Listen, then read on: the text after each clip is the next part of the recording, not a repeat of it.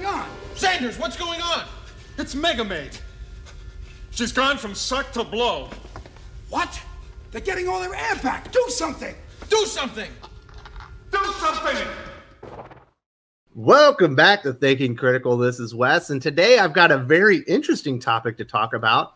And my guest here, he's coming in somewhat cold. I think he might know a few of the things I'm going to be talking about here, but mostly I just I gave him the premise of this video. We're going to talk about five excellent comic books that, in my opinion, have severely hurt the comic book industry as far as writing goes. And uh, here with me to talk about this today is my good friend Yul Carter from Fantastic Comics in Berkeley, California. How you doing? Thank you. I'm doing really well, and I'm looking to riff on this. Absolutely. This this one's going to be a good video. And if you enjoy this, absolutely give this video a thumbs up. If you're enjoying the channel, definitely subscribe to the channel. If you're first time, you know, have a have a look around and see if this is for you. You might like us. You might want to watch these these videos. We do videos daily here, so uh, consider subscribing as well. And uh, there will be three ways you can subscribe to Yul Carter's uh, YouTube channel, Fantastic Comics. Link in the description. At the one minute mark, there will be an icon. At the very end, there will be an icon as well where you can subscribe to his channel and definitely check him out because he's he's got a beautiful voice. Thank you, you very much. Yeah, and uh, when, but the only problem is when you see me on my show, you'll actually see me too. I you'll probably see him on Saturday as well, or you would have seen him on Saturday. This is this video will be out on Monday. This is one of those evergreen topics. We don't have to put this out the day I re- we record it. So here we are. We're going to talk about five what I consider very good, maybe even great comic books, like seminal comics by great writers for the most part. There's one writer I don't think is great, but he certainly uh, uh, made his impact with his story and why I think that they actually hurt the comic industry mostly because of writing techniques. Let's start off with, with someone I, people are going to know this guy's going to be on the list. I'm not a huge fan of Bendis, but he certainly has some very classic stories. And the first one I'm going to say is Brian Michael Bendis's Avengers run. Obviously, I could have picked a lot a lot of Bendis runs from Marvel Comics when he was at his apex as far as writing.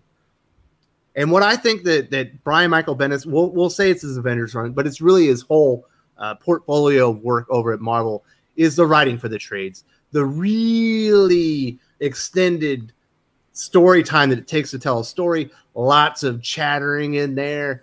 Uh, we're not going to talk about the quipping. I don't I don't know if there's enough uh, writers that have really brought that into their writing style. But if you read a like a Scott Snyder, one of the biggest uh, names in the comic industry, you'll notice that a lot of his story arcs six to eight issues.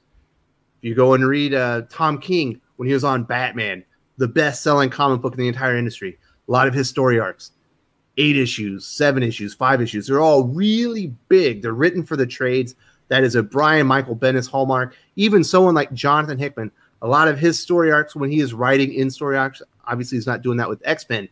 Really big, long story arcs that you can throw into a trade and throw a throw a nice title on it like that. And that is that is my friend. That is what I believe that the the worst thing Brian Michael Bendis has done, you know, other than what he's done to Superman. Yeah, well, that's Superman, another topic. That's another topic. Uh, Bendis was very, very um, hot and special and different than any other writer, especially at that time. It took a while for people to really recognize that he had a certain style that he was, you know, always, um, you know, utilizing. And it was, like you said, writing for the trade. What it is, if you haven't read a Brian Michael Bendis comic book, is uh, it's usually six issues the storyline, and you know that if you read it, you could probably have uh, cut it down to about three issues to get the same length, you know, and get the same story. And the way he pads it is by having, you know, long conversations that take place over the course of issues. And he does this in Avengers, and he does this in, uh, you know, Daredevil eventually. And, you know, but the thing is, is then he goes over to DC and does it on Superman or he does it on another title that he does, Guardians of the Galaxy, you know, and it's like I'm reading a lot of filler so that they can get either a monthly comic book out that will be put in a trade, or even worse at Marvel these days, every other week, the same, well, pre COVID, of course. uh, you know, two issues a month would come out. And within those two issues, you know, one of them's important, the other one's not with the exception of how they pace it out. So like maybe just the last panel, maybe the first panel of the page and the last panel. A lot of recap about what's happened prior in the prior issue. Sure thing. You know, old comic books would do that with, you know, one or two pages. This decompressed storytelling is what we're talking about, and Bendis popularized it. He did a very good job at doing it, but now we see everybody utilizing it, and even the companies with the way they put their books out are utilizing it that way, almost demanding people to write for the trade. You know, it's different than if you're reading a trade paperback or a collection of a mini series that came out. That was written specifically to be a graphic novel. Yeah, exactly. Well, I mean, the thing is, is like you have this feeling that the mainstream comic books, especially the Bendis ones, uh, are written for the trade. Like this is a graphic novel, but it's not. It's the entirety of the series might be what you would consider the graphic novel. I find that when you have these long uh, stories that don't have a whole lot of meat in them, I think that you don't really think of any one issue as something spectacular. It's the entirety of the run that is the spectacular thing. When I was a kid, and this might just be me, being old, but I remember that one issue of something that happened, like the death of Elektra.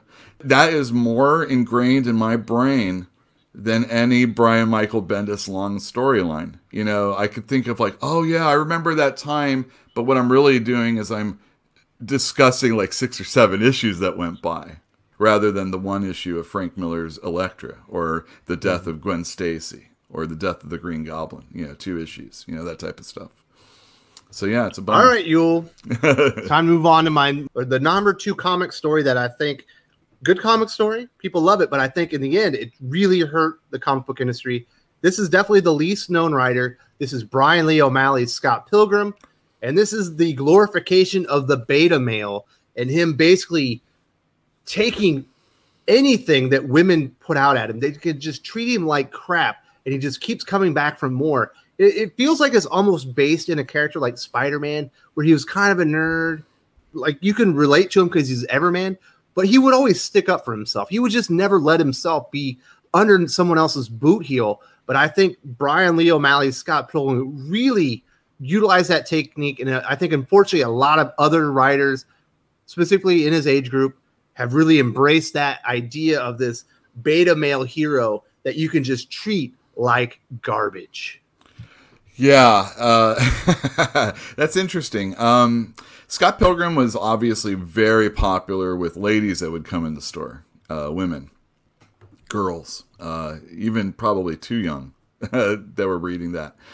It, it's a hmm, that's interesting. I, I uh, it, it, it, the thing that interests me is that usually a writer that's doing that type of book usually has a female lead.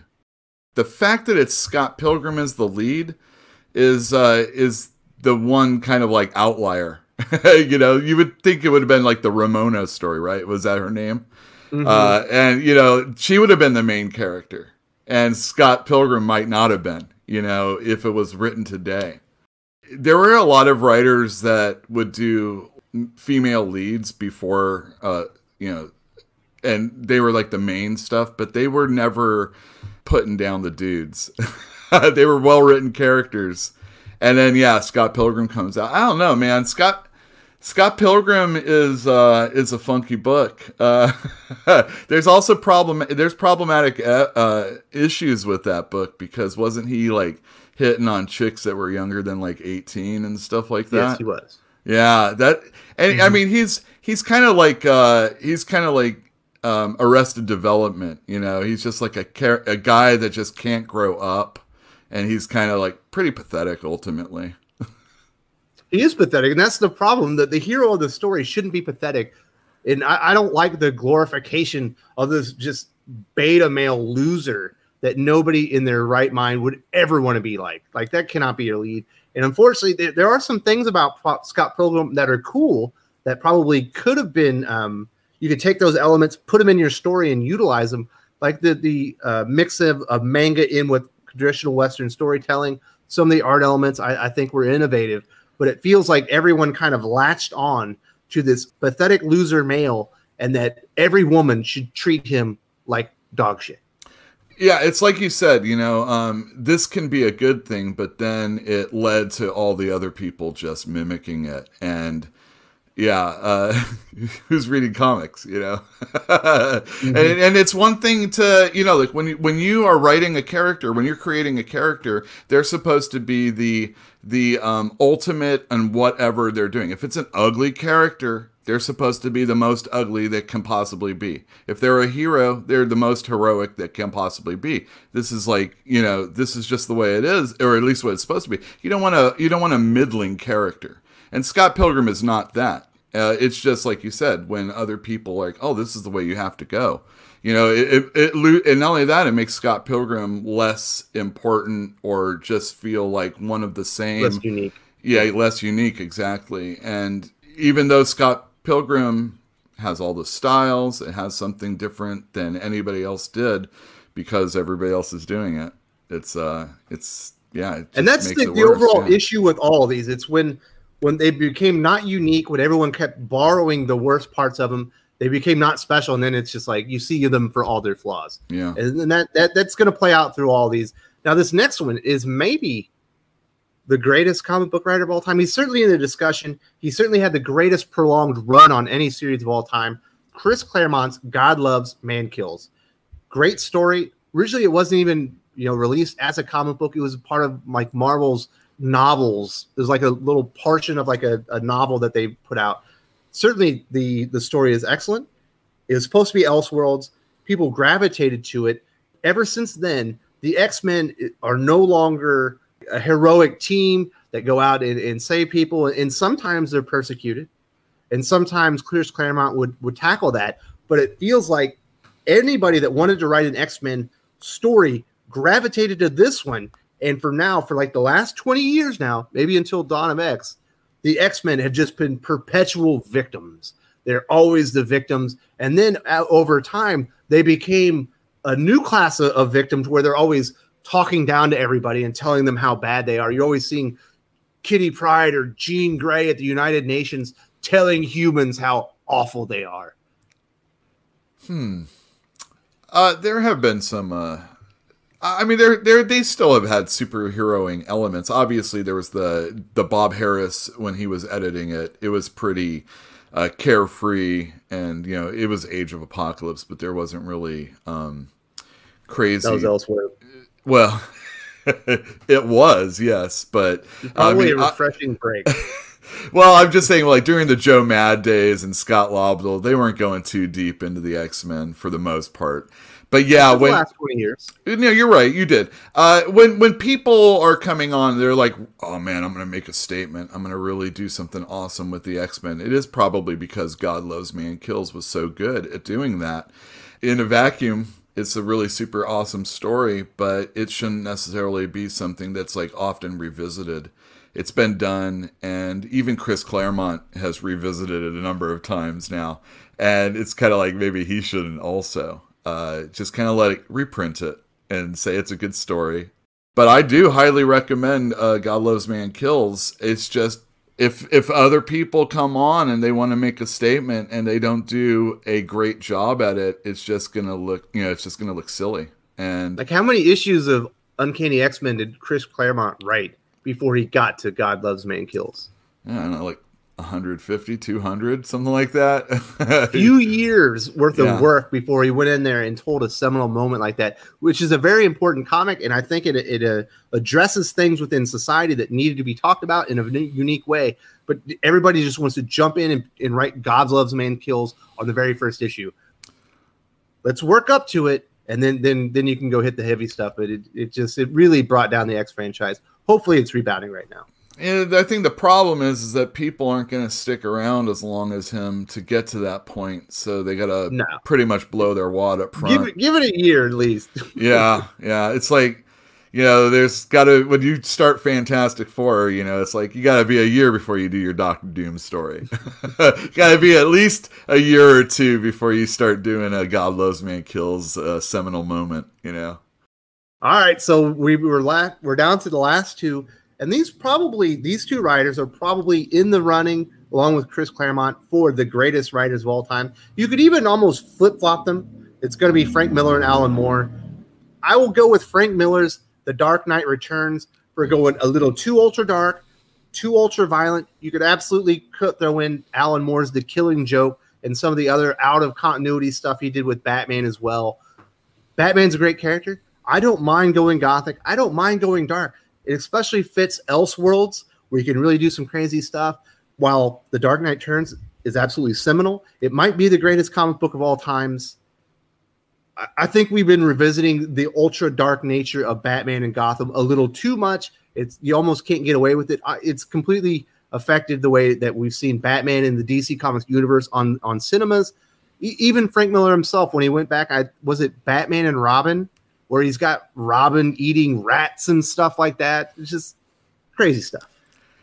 Yeah. Um, so, Frank, all right. So then people have to realize that we were in a different time when, like, Bat, the Adam West Batman was still very fresh in people's mind. Uh, minds, uh, you know, it was being replayed on TV all during my childhood. And so when Frank Miller is doing comic books, these are the Batman images. You know, the Super Friends are still out there. There's nothing dark and really super gritty. Um, Gene Colan was doing the art on Batman, but you know, it it was just kind of like your dad's Batman stories. And so what did Frank Miller do? He told an older Batman story. and for some reason it freaking clicked so hard that everybody loved it and now nobody can do anything other than the darkest, you know, Batman story ever. At least for the most part. Uh, I do recommend if you want to get a little bit more carefree, check out Matt Wagner Batmans. Those are very classic and good and they still have spooky elements, but they are also very carefree, and that's a way to go. But other than him, it's dark all the time now. you know, every once in a while there'll be like a one shot on Detective Comics with Peter J. Tomasi. I remember, I can't remember the name right number right now, but there was like a Joker at the carnival thing, and that felt like that was a fun Batman story. And the Joker, he's still crazy, but he's not the most homicidal character in the history of the world.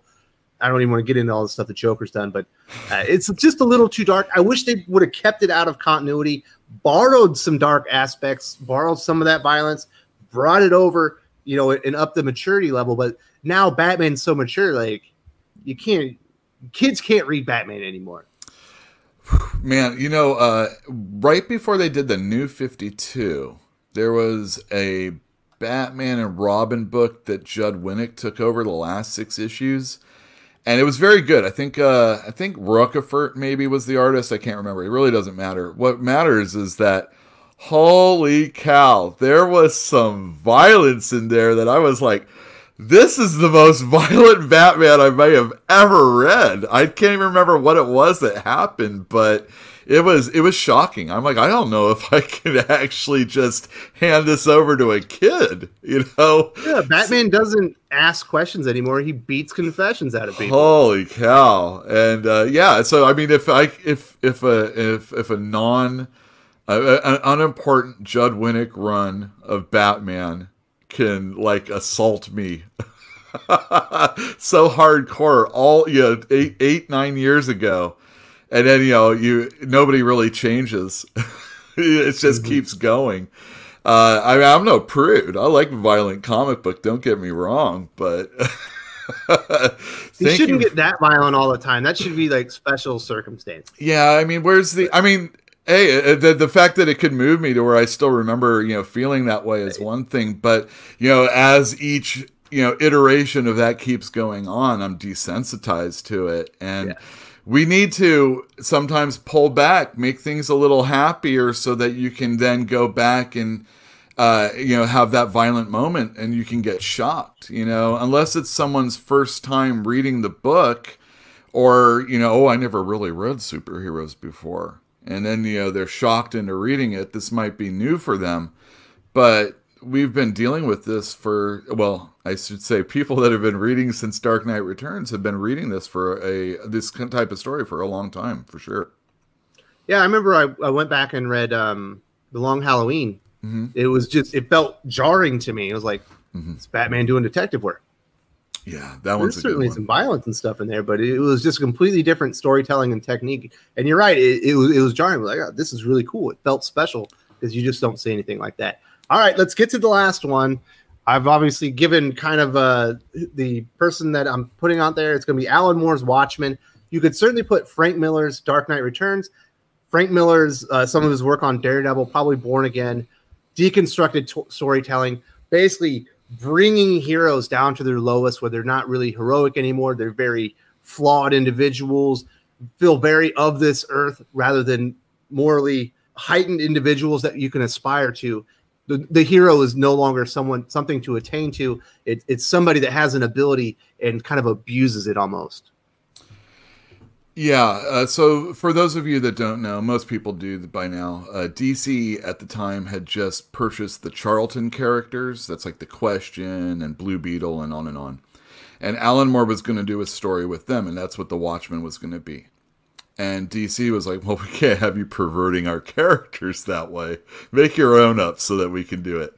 And that's what Watchmen is. And uh, again, you know, bringing deconstructing characters, taking archetypes of characters, and putting them through the ringer is Very well, effective. it's very effective. And it was, I mean, hey, it might have been even more monumental if it was Blue Beetle, you know, and it was the question and stuff like that. But as a result, you know, this is like one of the greatest comics of all time, or at least, you know, the most known, the most, I don't know. I, I, I obviously there's going to be people that don't like superhero comic books, but even they have to respect the fact that this is a book that, you know, It's a game changer. it's a game changer. It's a it's a chart. You know, it, it tops the charts.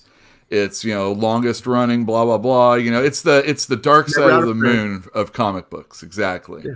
And you know, every it it's always selling.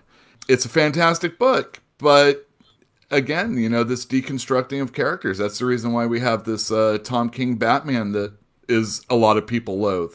A lot of people like it for that, but you know, we've seen it. We uh, we've seen it in Watchmen. We've seen it, you know, uh, with the All Star books when they do it with Batman or the Dark Knight Returns, or even in his own way, Grant Morrison with his All Star Superman. Even though it's more of a- Daredevil, certainly. Daredevil. He's like always deconstructed. Exactly. Daredevil, holy cow! That guy always talk about spiraling. his his entire arc is in a well all the, The Daredevil time. stuff doesn't bother me because that is basically what he every.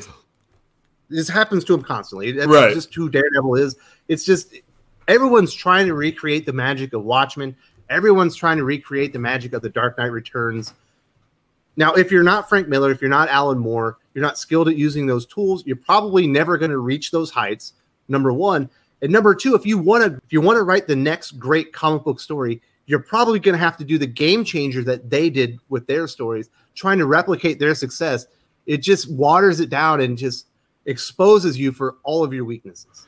Yeah, you know, the, it's- these guys worked up to this moment, and not only that, um, you know, uh, Alan Moore had a, a an artist that worked up to that moment. Also, Frank Miller, you know, luckily was able to do most of the work himself, but he had Klaus Janson. These are like industry vets that had been working for a long time. You know, Lynn Varley wasn't just you know working on it because of her association with Frank Miller. She was a good colorist you know, same thing with uh, Gibbons and Moore. You know, they're not just friends; these are like masters that have like worked in the industry forever.